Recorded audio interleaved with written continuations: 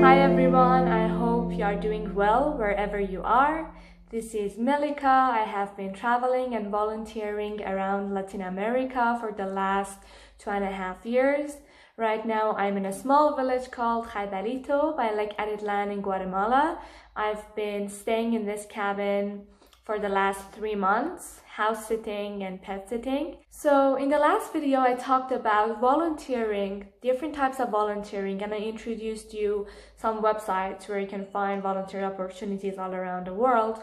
One of these websites was called wwoof.net, Worldwide Opportunities on Organic Farms. Today I want to talk about traveling on a budget and how to WWOOF while traveling on a budget. As you may know, the main cost of traveling goes on accommodation and food. When we volunteer, we work part-time a day, mainly five hours a day, five days a week, in exchange for accommodation and food. After the first weeks of volunteering, I realized I don't actually need a lot of money to travel.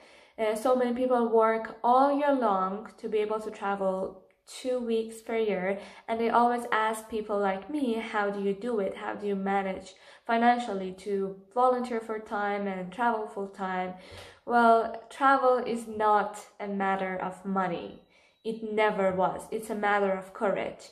And people work back home to save a lot of money to spend it on accommodation and food whether you can volunteer work on organic farms and WWOOF and exchange your knowledge and skills for accommodation and food. You learn and get a lot more apart from that. So you work on the way and you don't work with such a thing like money, you just exchange your knowledge and you get accommodation and food. You do have enough free time to see whatever that you want to see within the country.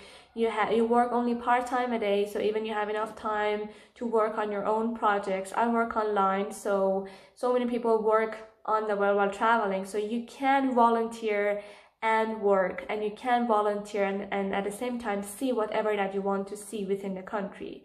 So apart from accommodation and food, another main cost is transportation. And this really depends on where you are traveling because in different countries, transportation has different costs. Some countries like Brazil are as big as a continent and it's very far and expensive to get from one city to another. And some countries like small countries in Central America, you can get for four hours from the Caribbean to the Pacific. How much money you need actually depends on uh, where you are traveling and how long you're traveling there and what kind of trip you're doing. Another thing that I want to mention is the purpose of your trip.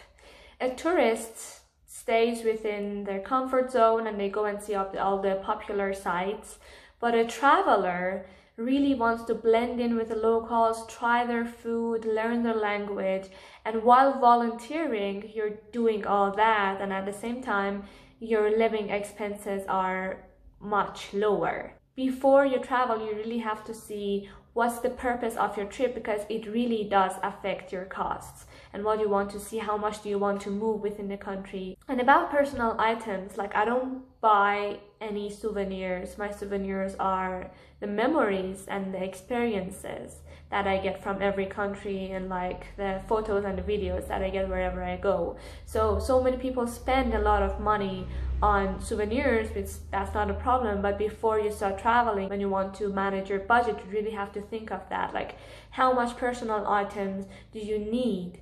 Uh, or do you want to get when you're traveling? How do you know how much money you need while wwoofing?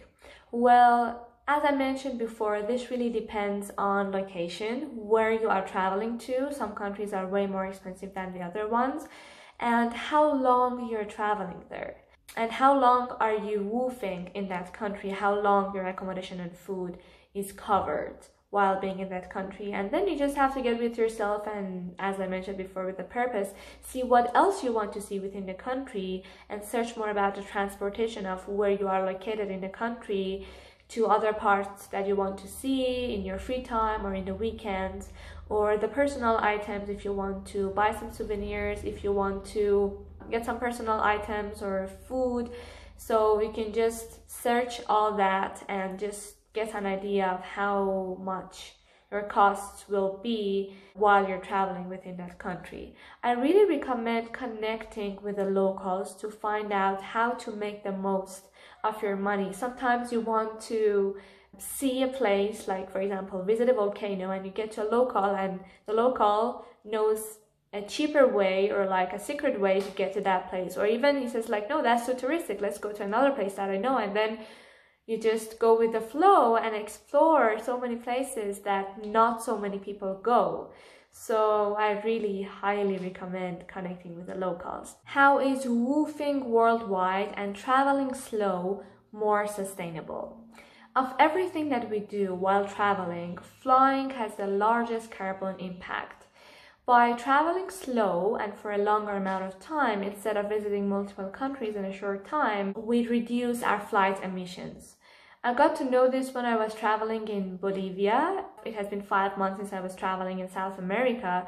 And I was like, okay, as long as I can, I will try to stop flying. I mean, just use buses and trains instead of plane as long as I can. Because as you know, I need a visa to visit every other country. So if you have a US passport or a European passport or any other valuable passport, you can easily travel and cross the countries by land and travel by land if you don't want to move within the continents. But for a person like me, it's very hard. Like I have to get a visa for every country to be able to show that I can pass countries by land. But I got to do it for one year in South America, from Bolivia to Peru, Peru to Chile, Chile to Argentina, Argentina to Uruguay, Uruguay to Brazil. It took me one year travel within all these countries by land, by bus, long night buses. Like in Brazil, I, I took like so many 24 hour buses. And yeah, just because I understood that I, I can do it, and when I understood how large uh, is the carbon impact when we fly, I just realized I want to do it. And if I could do it for a year with my situation, you can definitely do it the more I travel, the more I realize there's more to see. So that's why I've been taking my time and by wwoofing and really living with the locals and learning and spending some time in different countries, different cities with different cultures and different people, I just realized I'm not in a rush to see the world and there is a lot to learn. So that's why I've been enjoying it so much and can't recommend it enough. I hope all this information was useful and I really hope to see more people wwoofing around the world. Thank you so much for listening to me and for watching this video. I send you all love, health and happiness.